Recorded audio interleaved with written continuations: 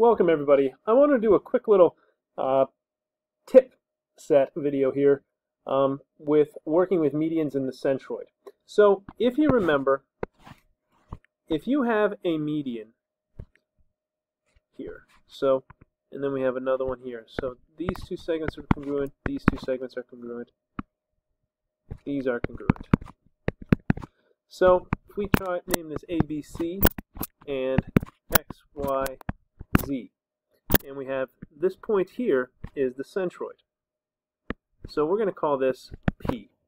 So if you're looking at this, well, we came up with some formulas in our notes, and it was BP is two-thirds of BZ. And we also had that um, PZ is one-third of BZ. And we also had one other one where BP was also equal to 2 times pz. Now, in an effort to make this a little bit easier, if we call this bp, if we call that the long piece, and pz, we call that the short piece, and then bz, we could call that the whole. We can come up with a few equations that are going to make things a little bit easier. So this would be the long, this would be short, and then the entire piece would be the whole. So we have a couple of these. I'm going to run the list down. So the long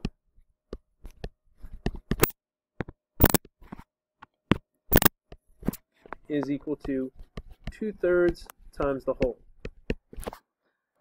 The short is equal to the whole divided by 3. The whole is also equal to 3 times the short.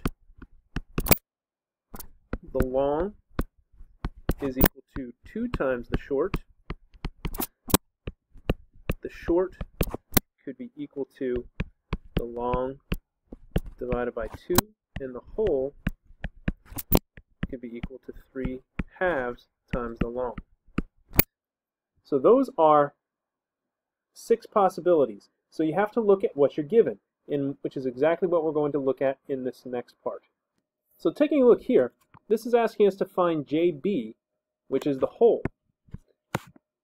If UB, UB is the short. So we have to look to see what from our list deals with finding the whole dealing with the short. And if you notice, that is this one. Sorry, I'm incorrect here. Whole is this one. So JB will equal 3 times UB. So JB equals 3 times 17.2 and 17.2 times 3 is 51.6.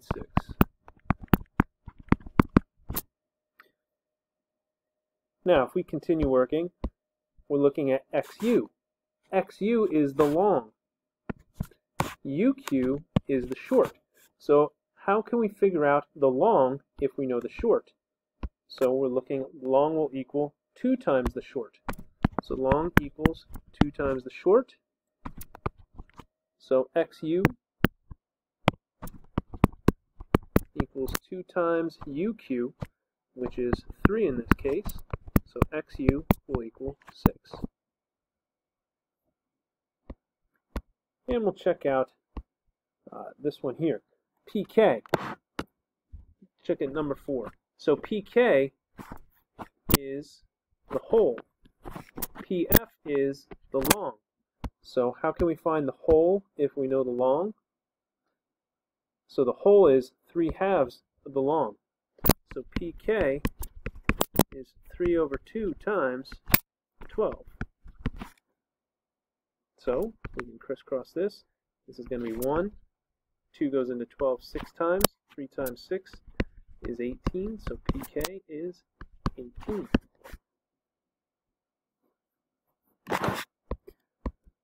And find hx if hv is 36. So hx is the long, hv is the whole.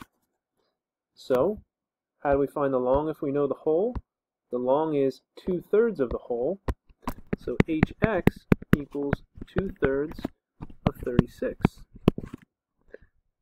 So 3 goes into itself once and into 36 12 times. So hx, 2 times 12 is 24. So if you use those patterns, that will help you a lot, and you'll be able to do these much more quickly, I believe, and hopefully it will make more sense. So if you make a nice little chart like this, right here, and set it up, you should be in good shape, and it'll help you, especially on the quiz, which is coming up.